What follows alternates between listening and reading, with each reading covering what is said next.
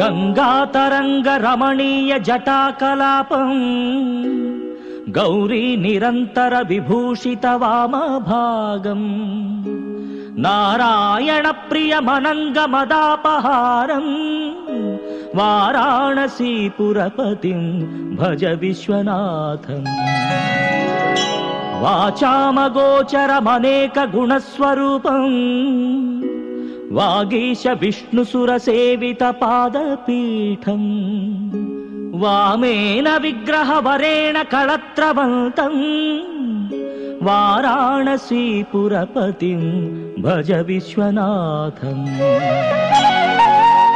भूताधिपम् भुजगभूषणभूषिताङ्गम् व्याघ्राजिनाम्बरधरम् जटिलम् त्रिनेत्रम् पाशाङ्कुशाभयवरप्रदशूलपाणि। वाराणसीपुरपतिम् भज विश्वनाथम्। शीतांशि शोभित किरीट विराजमानम्। पञ्चबाणम्। नागाधिपारचित भासुर कर्णपूरम् वाराणसीपुरपतिम् भज विश्वनाथम्। पञ्चाननम् दुरितमत्तमतङ्गजाना। नागान्तकम् दनुज पुङ्गव पन्नगानाम् दावानलम् मरणशोकजराटवीणा वाराणसीपुरपतिम् भज विश्वनाथम् तेजोमयम् सगुणनिर्गुणनिर्गुणमद्वितीयम् आनन्दकन्दमपि राजितमप्रमेयम् नागात्मकम् सकलनिष्कळमात्मरूपम् वाराणसीपुरपतिम्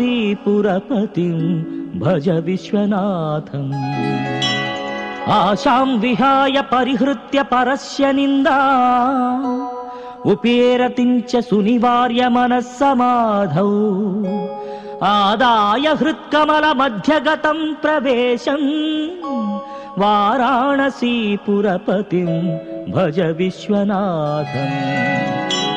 रागादिदोषरहितः स्वजनानुरागम् वैराग्य शान्तिनिलयम् गिरिजासहायम्। माधुर्य धैर्य वाराणसीपुरपतिम् भज विश्वनाथम्।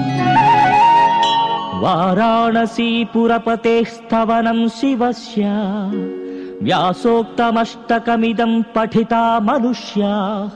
विद्याम् श्रियम् विपुलसौख्यमनन्तकीर्तिम् सम्प्राप्य देहविलये लभते च मोक्षम् विश्वनाथाष्टकमिदम् यः पटेश्चिव सन्निधौ शिवलोकमवाप्नोति शिवेन सह मोदते